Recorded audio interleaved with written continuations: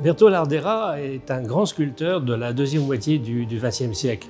Il est né en 1911, il est mort en 1989 et il a été très très très célèbre dans les années 1950-1960. Euh, notamment, l'une de ses sculptures avait été installée en 1968 au moment des Jeux olympiques d'hiver à Grenoble devant la nouvelle maison de la culture et c'est cette sculpture euh, qui l'a rendu célèbre.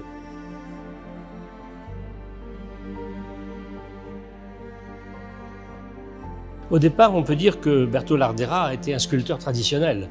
Et on voit comment euh, il s'intéresse au volume, mais c'est déjà un volume qui n'est pas très profond. Hein. Ce sont plutôt des boudins ici qui sont réunis les uns avec les autres. Euh, il y a une masse, mais il n'y a pas une prise de possession des trois dimensions, avec euh, bien sûr des passages, avec des creux, avec des trous. Et ces trous, eh bien, on les retrouvera plus tard dans les sculptures des années 50 et 60.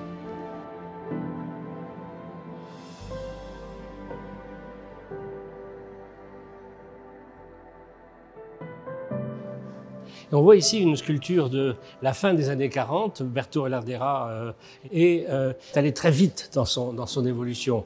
Et son idée, justement, c'est premièrement de prendre euh, un nouveau matériau, le métal, de le découper. Deuxièmement, d'assembler des formes dans l'espace. Et troisièmement, justement, de dématérialiser la sculpture pour qu'elle soit le plus aérienne possible, qu'elle soit vraiment sans profondeur, sans masse. Et on voit comment, effectivement, ces formes, il les a assemblées et elles sont dans le même plan.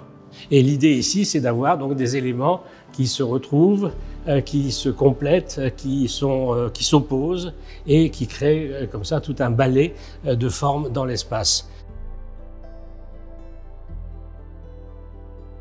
La caractéristique de l'art de Bertol Lardera, c'est que ces sculptures ne sont pas en marbre, elles ne sont pas en bronze, elles ne sont pas en pierre, elles ne sont pas en bois, elles sont en métal.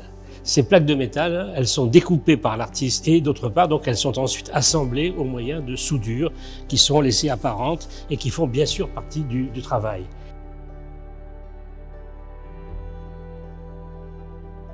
Par rapport à d'autres sculpteurs qui ont aussi fait de la peinture, Lardera n'a pas fait de peinture, mais en revanche, il a réalisé beaucoup de collages, fait avec euh, quelques morceaux de papier découpés. Et Lardera, en fait, réalise ces collages comme il fait ses sculptures, en découpant des éléments et en les assemblant, ici bien sûr strictement dans les deux dimensions.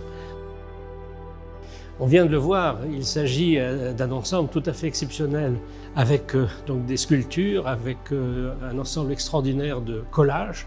Et tout cet ensemble eh sera mis aux enchères par la maison de vente Arcurial le 9 juin prochain.